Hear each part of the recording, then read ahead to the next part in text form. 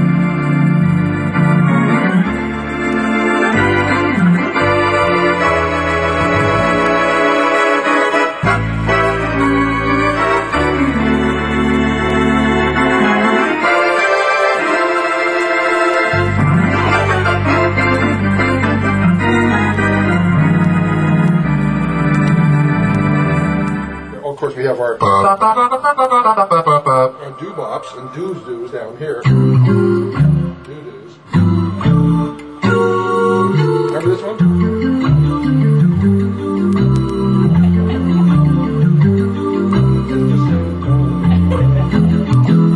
Or if you just want to, you can do the bops too.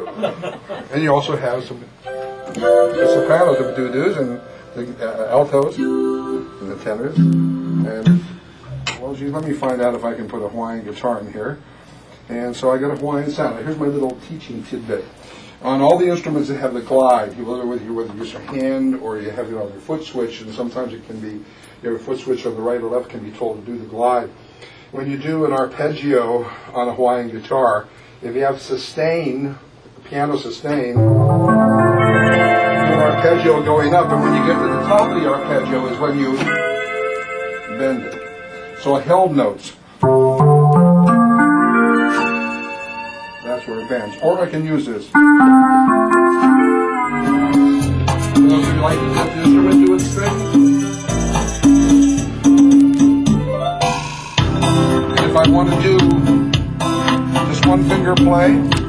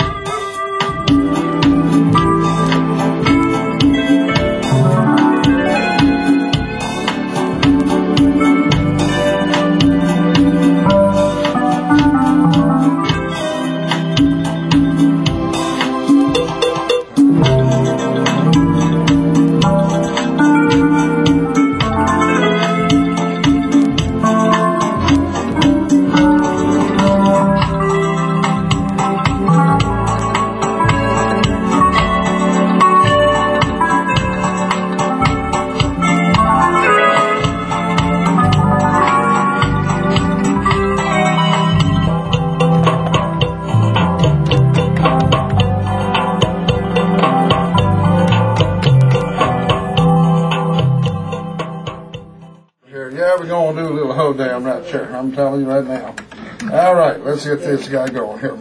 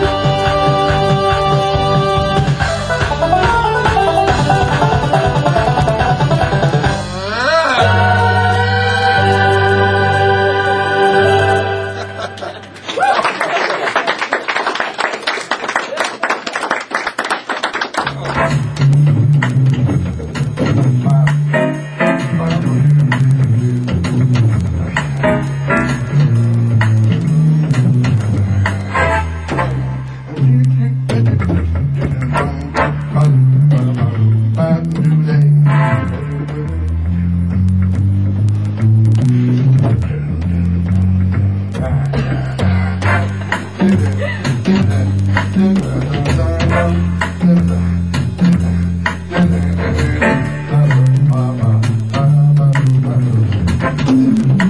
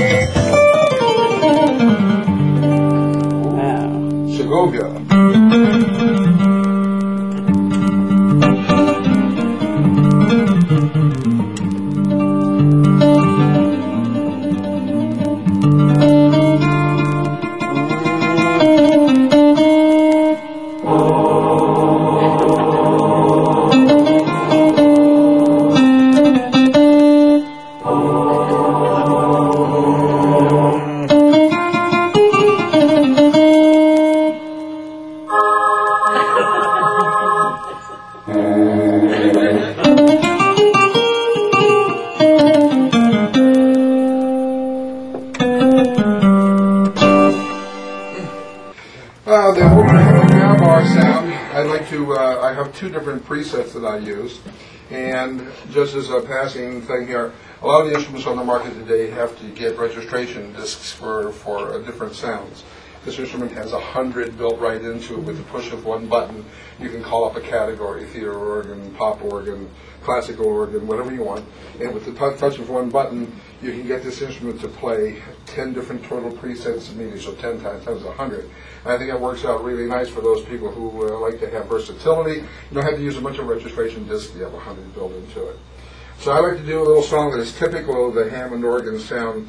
Uh, years ago, there was a record called Shangri-La. Remember the song called Shangri-La? And I would like to do is uh, play a little Shangri-La for you.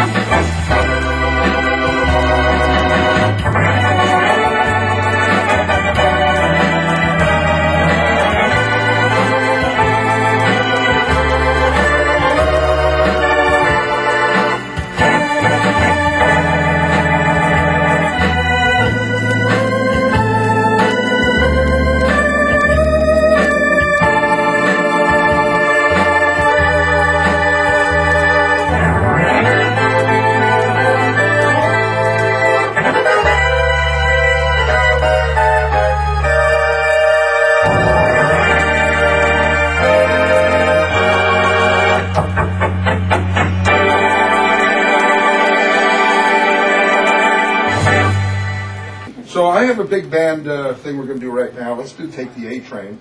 Let's get a nice rhythm here. We got to have a bass player. We got to have a drummer, and we're going to have the have the brass in there. And I may- might get them to to shake just like the brass does. And let's see if we can get our drummer going here.